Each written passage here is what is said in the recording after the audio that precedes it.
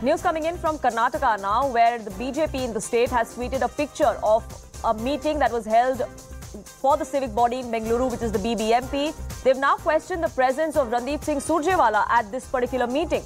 The BJP taking to Twitter, going on to say, What is the secret of ATM Sarkara's secret meeting? Congress state in charge, Randeep Surjewala, who has no official relationship with either the state government or the BBMP, has nothing to do with the top officials. Is this the 85% deal fixing meeting? That's the allegation that uh, the BJP is now making against the Congress party. Remember, on the plank of corruption, while the Congress maintained its campaign on the 40% Sarkara commission, commission Sarkara campaign against the BJP. The BJP has been claiming that Congress has always been an 85% commission Sarkar, which is an allegation that they're making yet again.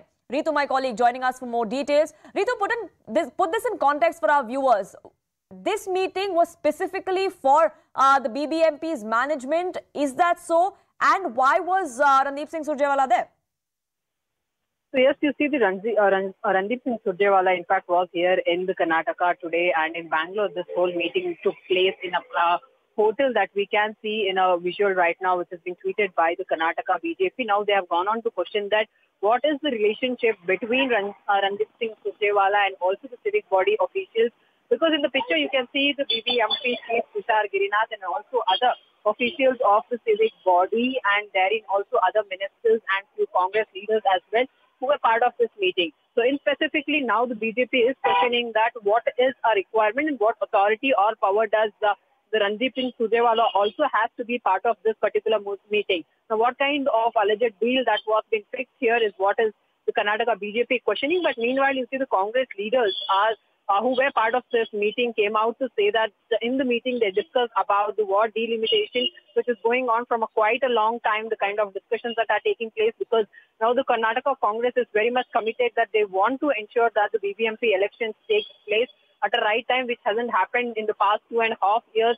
So that's the reason that civic apathy instances are coming to the light across the city. So they don't want that situation to continue forward. So the meeting meeting was also about that, and also other issues were also discussed in this uh, particular meeting. But however, now BJP coming out and particularly questioning about the uh, another the, the, presence of the uh, Randeep Singh Surjewala and where the civic uh, body officials were also present. So what is the relationship between them and why does Randeep Singh Surjewala have to be part of this meeting is what they are questioning. So yes, the Karnataka Congress is in a fix. They will have to come out and answer about this particular question that has been raised by the BJP now. Absolutely. These are allegations that the BJP has made in the past as well with different uh, leaders, different states, so why certain leaders were present uh, during cabinet meetings or during uh, meetings like these that were held where none of these leaders have a position or a say. Despite that, in this particular instance, as far as the BBMP goes, which is a civic body in Bengaluru, there is a meeting that was convened. There is hectic activity as far as uh, restructuring of uh, the BBMP is also concerned. Why was Randeep Surjewala, the Karnataka uh, Congress in charge there? That's the question that the BJP is raising.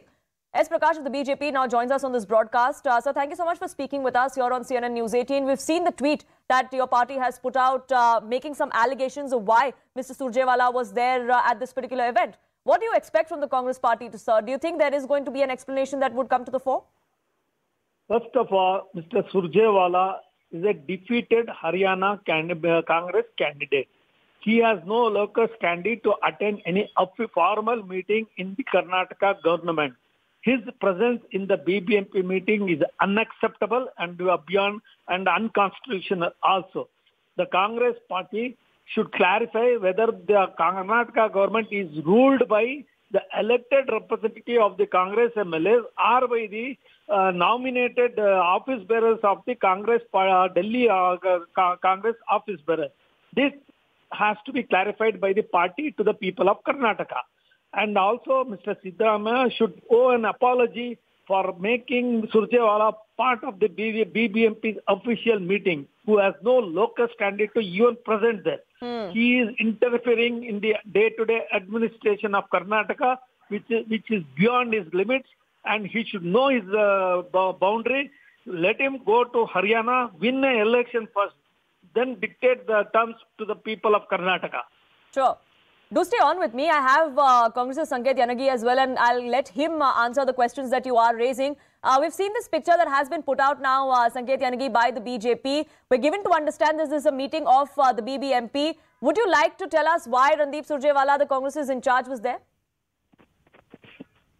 First of all, we need to verify as to whether that photograph which has been reflected in the BJP handle is genuine or not, because they are known for fake propaganda, and uh, so they know for photoshopping.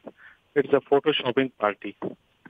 Firstly, that we need to verify the authenticity of it, and we also need to verify as to whether it is an official meeting of the BJ, the BBMP or something else, or whether it's a photoshopped photo.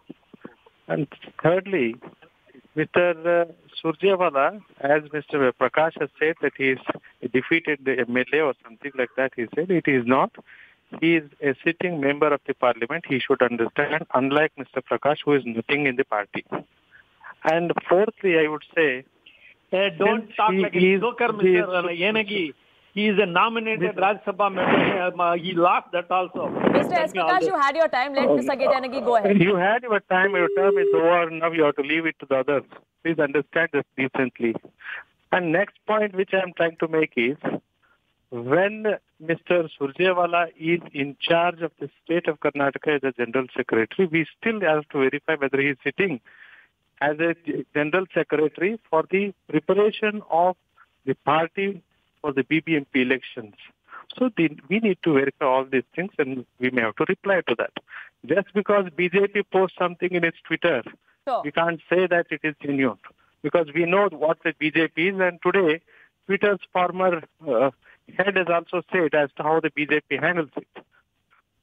I, I don't have to say anything more on this.